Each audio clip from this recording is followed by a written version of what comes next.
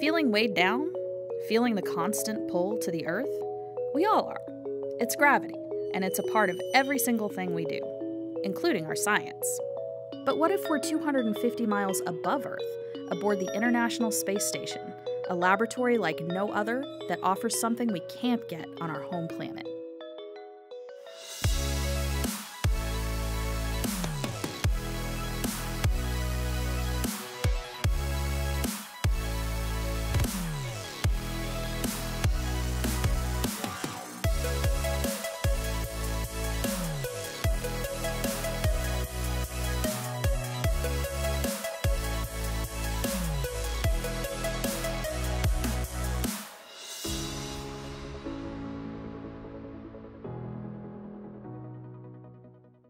My name is Dr. Serena Auñón-Chancellor, NASA astronaut. I recently flew to the International Space Station aboard Expedition 56 and 57. My relationship with microgravity is that I got to live in microgravity for 197 days when I was on orbit.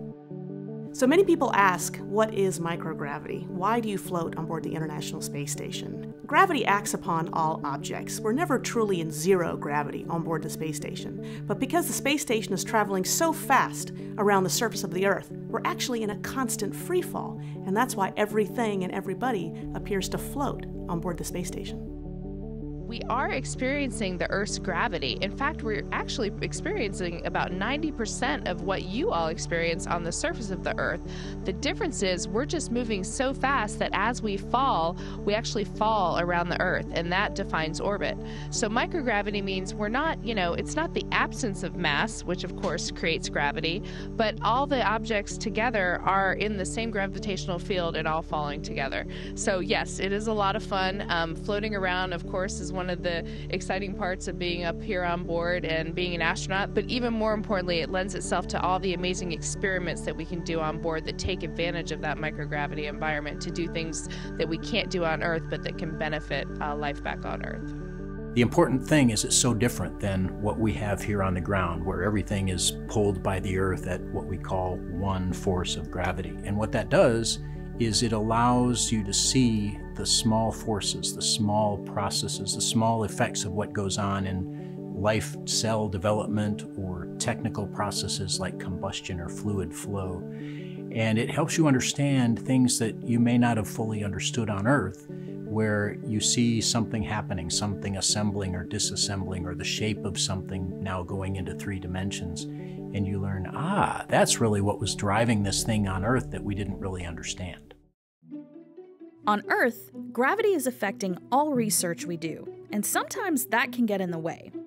Studying things in different environments can give a better picture of how they work, from diseases to fires and even things that make up products like milk or shampoo.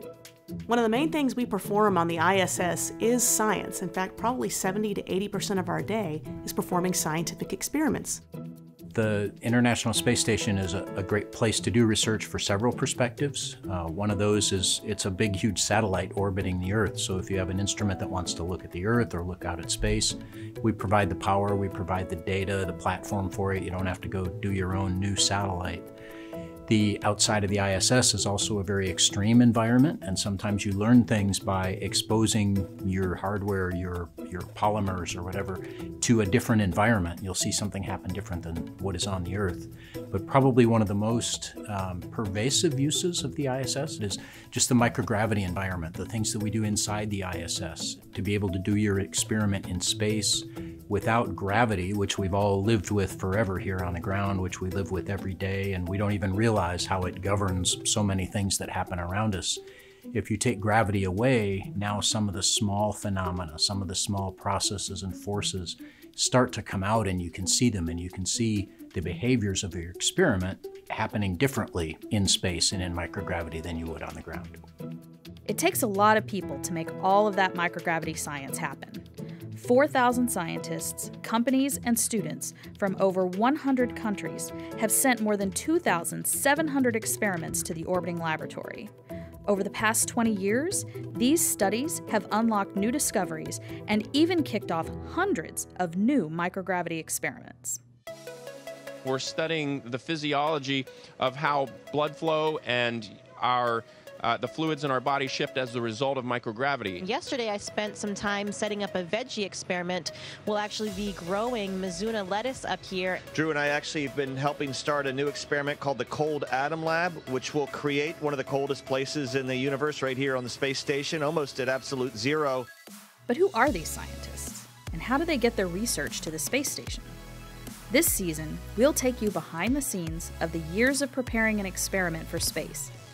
You'll see it launch off the planet and splash back down in the ocean, and hear what it's like to hand off your research to the astronauts who serve as the eyes and hands of the scientists aboard the International Space Station.